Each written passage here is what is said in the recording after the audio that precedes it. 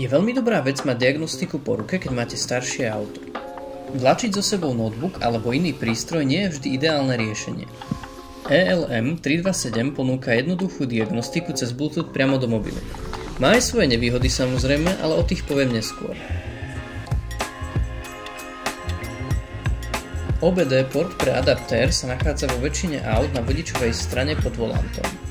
Adaptér zasunte do portu a dajte kľúčiky do druhej polohy zapalovania alebo naštartujte.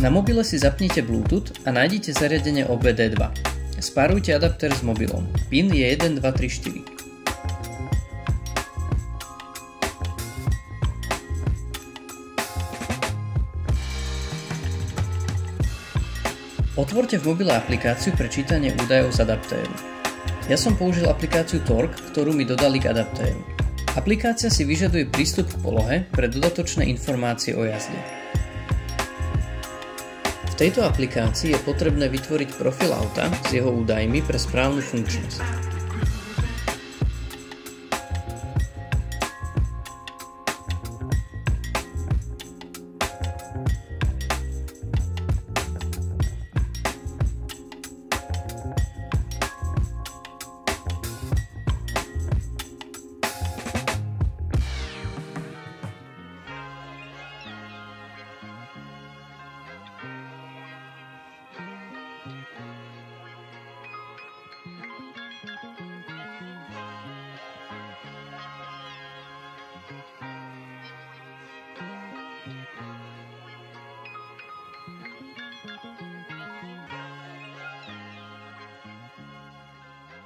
Vyberiem profil auta, v ktorom sedím a skúsim sa pripojiť na adaptér.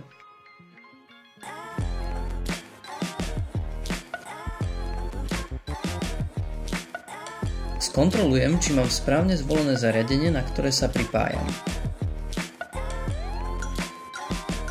A skontrolujem aj typ spojenia.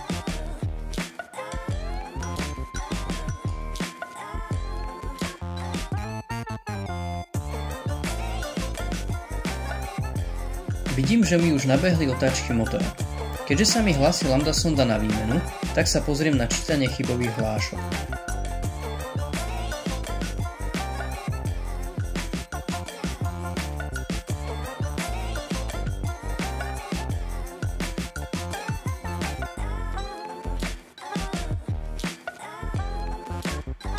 Píše mi chybu emisného systému, takže čítanie chybových hlášok funguje.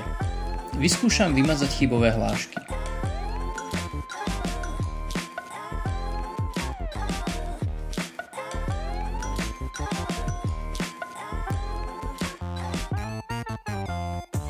Aplikácia tiež ponúka rôzne pridavné budíky, ktoré môžeme ľubovoľne meniť.